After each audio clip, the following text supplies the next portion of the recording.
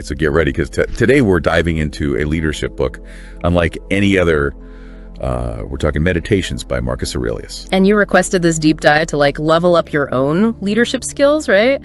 Which is interesting because um, yeah, we're not talking about some like Fortune 500 CEO or some four-star general. We're talking about an emperor. Right. Talk about high stakes. Marcus Aurelius was literally the most powerful man in the world, ruling ancient Rome. Yeah. And yet he spent his free time journaling about how to be a better person. Yeah. It's kind of like peeking into the mind of an emperor practicing self-improvement. I know, right? And and what's fascinating is this isn't some guy who was born, you know, destined for greatness. The article we're diving into, 12 lessons on leadership from the last great emperor, it points out that nobody expected him to become emperor. Really? Okay, I always just picture these historical figures just sort of falling into power. What happened? Yeah, so like it was a series of unexpected events, right? He was born to a prominent Roman family, but it was Emperor Hadrian who took a liking to Marcus Aurelius's character. Yeah. And then this led to like adoption by the next in line for the throne. And that ultimately set the stage for his reign. Wow, talk about a plot twist. so he doesn't just warm the throne for a few years. This guy ruled for nearly two decades. And he earned the title of one of the good emperors, which says something considering some of Rome's, shall we say, less than stellar leaders. Oh, yeah, for sure. And the article credits his grounding in Stoic philosophy as a key ingredient in his leadership. Yeah. Think about it. Amidst the chaos and pressures of running an empire, this is a guy who's finding solace and guidance in Stoicism. Okay, so we know he was a Stoic. But for those of us who haven't brushed up on our ancient philosophy lately, what does that actually look like in practice, especially for a leader? Well, I mean, at its core, it's about mastering yourself to lead others more effectively. Okay. The article breaks down seven core traits of a Stoic leader. It draws on this book called The Captain Class. And the Captain Class looked at all these great leaders across history. And the first one, the first trait, is being focused, fully present, prepared, and dedicated to the task at hand. That makes sense. I mean, you can't exactly lead an army, let alone an empire, if you're easily distracted. Any other traits that resonated with you? Yeah, absolutely. The second trait is being a true competitor. But okay. hold on, because this doesn't mean being ruthless or, you know, yeah. backstabbing your way to the top. So not what we typically picture when we think of like cutthroat Roman emperors. Exactly. For Marcus Aurelius, and for the captains that this book, The Captain Class, looked at, being a competitor was about possessing a relentless drive to excel, right? Like to push hmm. boundaries, but for the betterment of the team, or in this case, like the empire. Interesting. And, you know, that actually ties into the third trait, being selfless. Marcus Aurelius wasn't driven by ego or personal glory. He understood that true leadership meant putting the needs of Rome above his own. That's really interesting because, again, when I think emperor, I don't usually think team player, mm. but it seems like that was a huge part of his philosophy. Yeah, and that's such a great point and a really valuable lesson for leaders even today, right? Like this isn't a guy just concerned with his own power. He's seeing the bigger picture. And this wasn't just some abstract idea for him. The article actually points to an analogy he uses in Meditations. He compares a leader to a vine-bearing fruit. All right, I'm intrigued. Tell me more. Okay, so I'm going to quote Marcus Aurelius here. He writes, a vine producing a cluster of grapes, like a horse after its race, or a dog after its walk, or a bee after making its honey. These natural processes, right, they don't happen with an expectation of praise or recognition, they simply are. True leaders operate in the same way. Mm-hmm. They focus on the act of leading, serving, and contributing without needing a pat on the back. That's such a powerful image, this idea that it's not about seeking external validation. It's about doing the right thing because it's the right thing to do just like that vine-bearing fruit. And I can see how that would be crucial as an emperor, where it'd be so easy to let the power go to your head. And that's exactly what he cautions against. He emphasizes the importance of staying grounded and self-aware, no matter how impressive your achievements are, no matter your title. It's about what he called poise, not pose. Poise, not pose. I like ah. that. But what does that actually look like in leadership? How can you tell the difference between the two? Hmm, that's a good question. You know, I think it's about humility, staying true to yourself, even amidst success. Okay. Someone with poise leads with quiet confidence and a focus on serving others. Right. While someone with pose is more concerned with appearances and personal gain. Have you ever seen someone in a leadership position who just remained remarkably down to earth despite their achievements? Yeah, that makes sense. I could definitely think of a few leaders who fit that description. So we've got focus, selflessness, poise. Hmm. What else? So we've got like focus, being a competitor, selflessness, poise, not pose. What other like stoic leadership secrets did Marcus Aurelius have up his toga sleeve? Well, the article highlights the importance of clear communication, right? Inspiring others through action rather than just words, having the courage to stand by your convictions even when they're unpopular. Especially in a place like ancient Rome. I mean, those emperors didn't exactly have a reputation for being, you know, open-minded. You're telling me.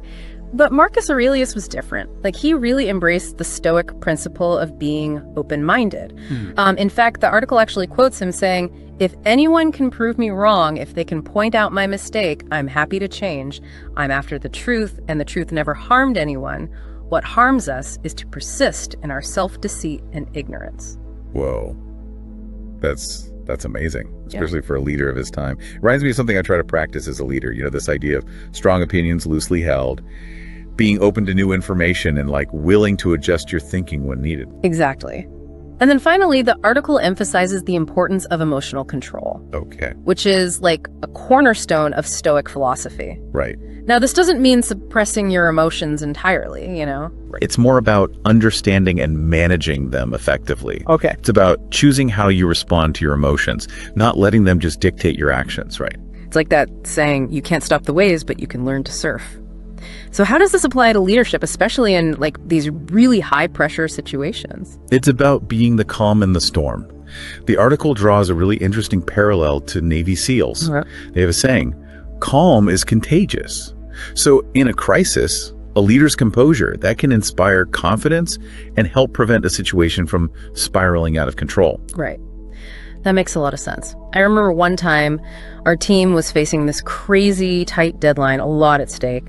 And like everything that could go wrong was going wrong. I could feel the tension just rising, and everyone was looking to me for guidance.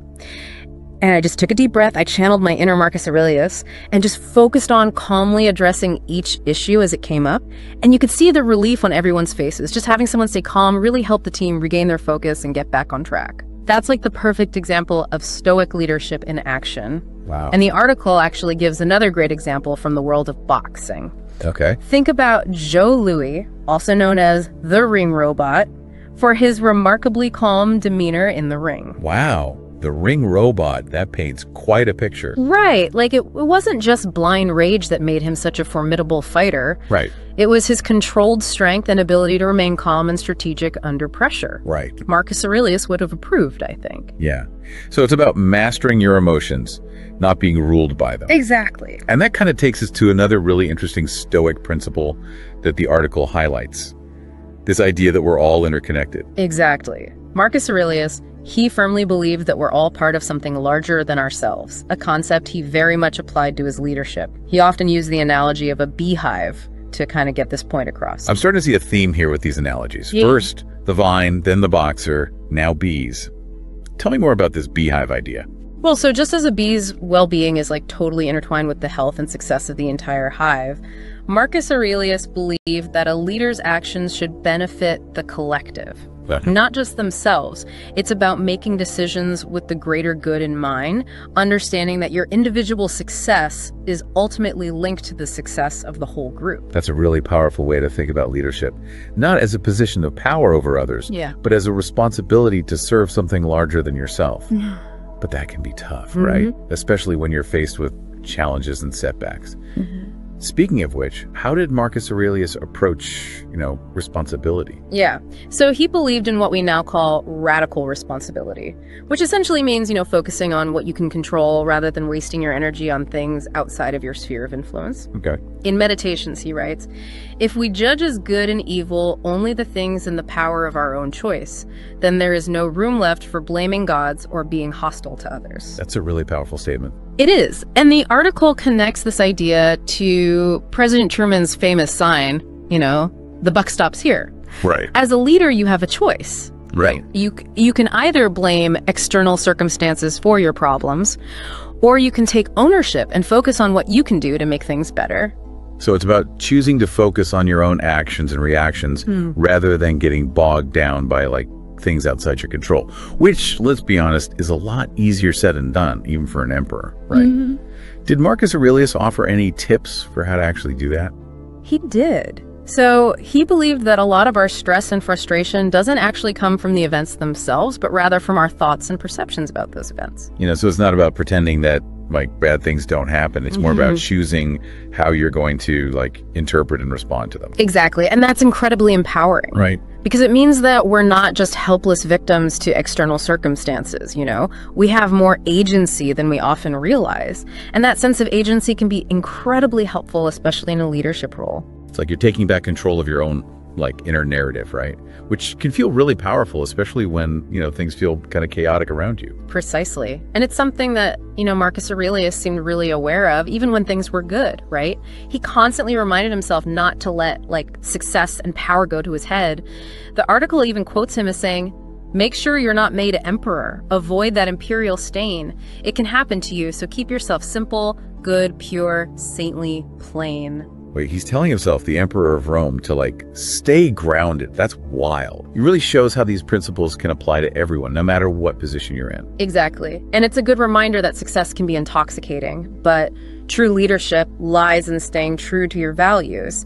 And for Marcus Aurelius, that meant, you know, serving the greater good and never forgetting where he came from. Yeah. It's like they say, integrity is what you do when nobody's watching. Yeah. And speaking of doing, how did Marcus Aurelius approach like planning? Because it's not like he could just wing it as the emperor, right? You're right, leading an empire requires strategy. And he was a big believer in what he called avoiding random actions, approaching situations with a clear plan, kind of like a coach going into a big game. The preparation was key for him. Absolutely. He believed that good leaders don't just react to events as they unfold, they anticipate, they strategize, and they have a framework in place. That's interesting. So like having a plan doesn't mean that you can't be flexible and adapt as needed, right? Exactly. The article actually makes a really great comparison to Bill Walsh, the coach who, uh, you know, led the San Francisco 49ers to multiple Super Bowl victories. Oh yeah. He was actually famous for meticulously scripting the first 25 plays of his games.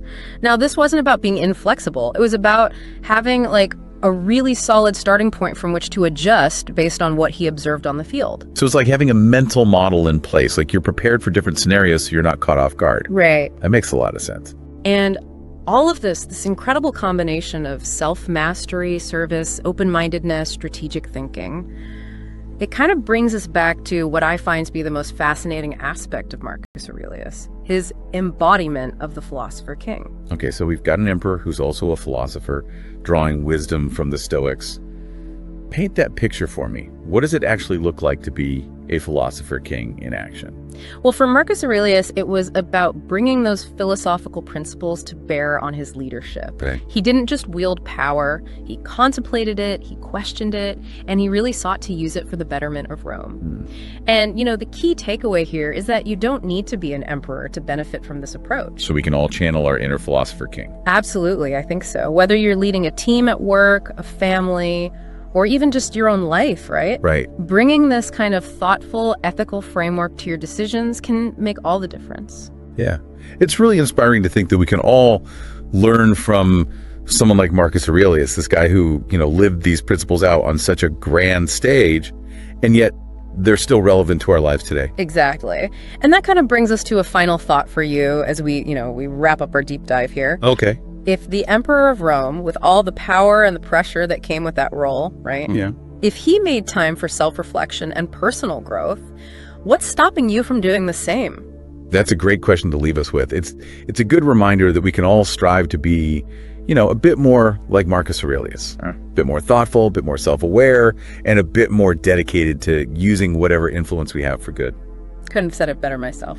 Well, that about wraps up our deep dive into the leadership lessons of Marcus Aurelius. Thanks for joining us. Thanks for having me. It was great. Rain, quietly remain composed, letting thoughts marinate like a rock in the storm. I stand unshakable, no matter what's thrown my way. I'll always remain unbreakable. Gotta keep my head high, staying in control. Stoicism the way I'm keeping peace within my soul, embracing the struggle, finding strength in adversity, determined to rise. Ain't nothing stopping me. Oh, I'm a soldier, never backing down, backing down. Resilience in my bones, I wear the stoic crown. Silent strength is my weapon, no need to make a sound. Unrivaled in my persistence, I'll always hold my ground, hold my ground. I wake up in the morning, feel the sun on my face Grateful for life, it's a precious embrace Marcus said, think of the privilege to be alive Breathe it in, let the gratitude thrive Power over my mind, not the outside scene In the chaos of life, find the strength within Stoic wisdom in my thoughts, like a guiding light. Running with the stars, in the cosmic flight. I'm a true soldier, never backing down, backing down Resilience in my bones, I wear the stoic crown. Strength is my weapon, no need to make a sound. Unrivaled in my persistence, I'll always hold my ground, hold my ground. Marcus said everything we hear is opinion Not a fact, it's a perspective dominion. Waste no time arguing about what's good and right Be the change, be the beacon, shine the light Anger's consequences, more grievous than the cause Pet's revenge, rise above, break unjust laws. Being like those who bring the pain. Stoic soul, immune to the toxic rain. I'm a true soldier, never backing down, backing down. Resilience in my bones, I wear the stoic crown my weapon, no need to make a sound. Unrivaled in my persistence, I'll always hold my ground, hold my ground. Accept the fear that love with all your heart. In the journey of life, play a part. Our soul died with the color of thoughts profound Marcus Aurelius wisdom, echoing the sound. Opinions ain't facts, perspective ain't truth Stoic virtue, unshakable from the roots. Yeah, be a good man, no need to debate. Actions speak louder, let your character translate. Faith brings us together, love with full measure. In the symphony of life, find your own treasure.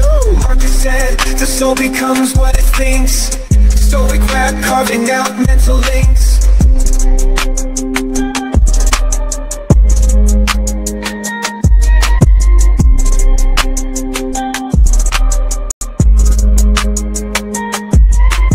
Marcus Aurelius dropping truth in the booth. Stoic rap spreading wisdom, that's the truth. Yeah, in the echoes of ancient philosophy I find my strength, my own autonomy Dwell on the beauty, watch the stars align. Stoic mindset washing away the grind. Yeah, happiness depends on the thoughts we mold. In the tapestry of life, let the story be bold.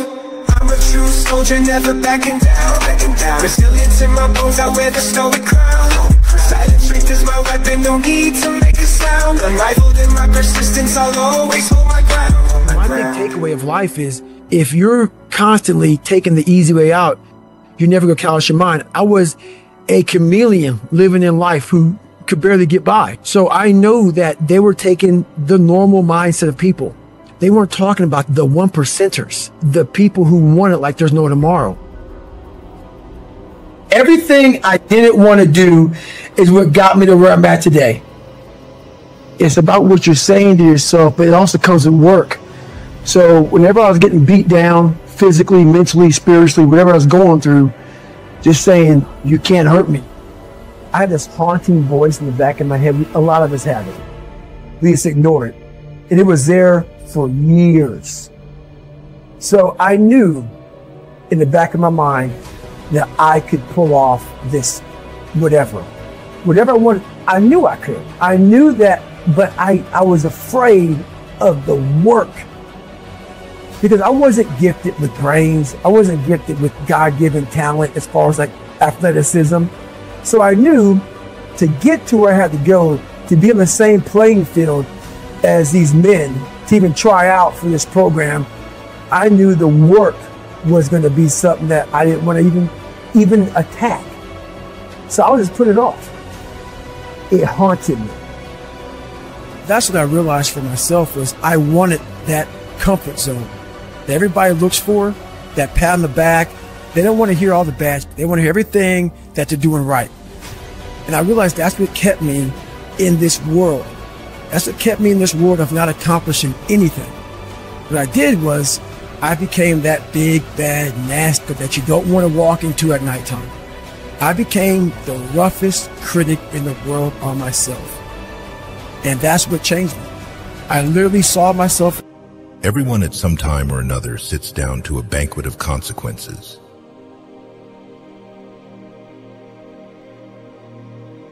A man who is as wise as a serpent can afford to be as harmless as a dove.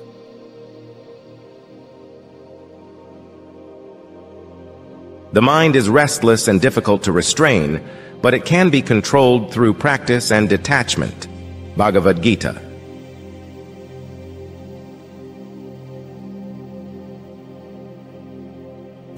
Something to fall back on when you get depressed.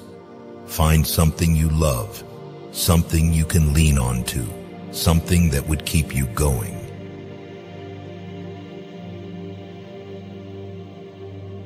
Life isn't something you possess. It's something you take part in.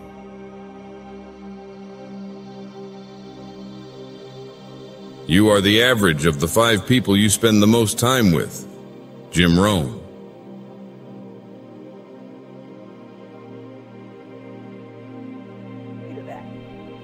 My reading, my learning, my my workouts, my my my diet. You start neglecting all of that. You neglect one of them, you can you can neglect all of them a long time. It's going to haunt you. When you start seeing that, my God, I haven't eaten right in a long time, haven't been sleeping right in a long time. It can only be one of those things to take you off. I'm very aware of my eating, my sleeping, my disciplines of life. And I started to get too far away from them, it's a hard stop. And the one thing that only thing gets me mad nowadays is that so many people die with untapped potential because they think that someone else is better than them. And they were born not with the greatest tools. You need the ability to grind your ass into a fine powder. And when you're that fine powder, find a way to build that back up repeatedly. It's possible. When you come from a small, small town and you come from a place that a lot of people don't want to come out of it and get out of it, and all you want to do is become somebody, you've got to be able to get out and let your mind see open mindedness. Because a small town, what it does to you is it closes your mind, completely closes your mind. Not everybody, this isn't everybody, a lot of people. You have to be able to go out there and create open mindedness. You need space. You need space to see the world. Like a lot of racism, a lot of a lot of ignorance in the world, it comes from people not being out and seeing other things, seeing other people. That's why we judge so harshly, because our minds are so closed to the reality of of life. Period. Self-esteem was built at a young age. I had zero. So that's why that discipline for me was important. It takes nothing to be a loser. And that's why I hold most people to a higher standard because I know how little it takes, little, like little ability. Like you need no talent, you need no greatness inside of you, and you can still be a bad mother. What then disturbs me? The sea no, but my opinion. Again, when an earthquake shall happen, I imagine that the city is going to fall on me. Is not one little stone enough to knock my brains out? What then are the things which are heavy on us and disturb us? What else than opinions? What else than opinions lies heavy upon him who goes away and leaves his companions and friends and places and habits of life? Now little children, for instance, when they cry on the nurse leaving them for a short time, forget their sorrow if they receive a small cake. Do you choose then that we should compare you to little children? No, by Zeus, for I do not wish to be pacified by a small cake, but by right opinions. And what are these? Such as a man ought to study all day and not to be affected by anything that is not his own, neither by companion nor place nor gymnasia, and not even by his own body, but to remember the law and to have it before his eyes. And what is the divine law? To keep a man's own, not to claim that which belongs to others, but to use what is given, and when it is not given, not to desire it, and when a thing is taken away, to give it up readily and immediately, and to be thankful for the time that a man has had the use of it if you would not cry for your nurse and mamma. For what matter does it make by what thing a man is subdued, and on what he depends? In what respect are you better than he who cries for a girl, if you grieve for a little gymnasium, and little porticos, and young men, and such places of amusement? Another comes and laments that he shall no longer drink the water of Dirce. Is the Marcian water worse than that of Dirce? But I was used to the water of Dirce, and you in turn will be used to the other. then if you become attached to this also, cry for this too, and try to make a verse like the verse of Euripides, the hot baths of Nero and the Marcian water. See how tragedy is made when common things happen to silly men. When then shall I see Athens again and the Acropolis? Wretch, are you not content with what you see daily? Have you anything better or greater to see than the sun, the moon, the stars, the whole earth, the sea? But if indeed you comprehend him who administers the whole, and carry him about in yourself, do you still desire small stones and a beautiful rock? When, then, you are going to leave the sun itself and the moon, what will you do? Will you sit and weep like children? Well, what have you been doing in the school? What did you hear? What did you learn? Why did you write yourself a philosopher when you might have written the truth?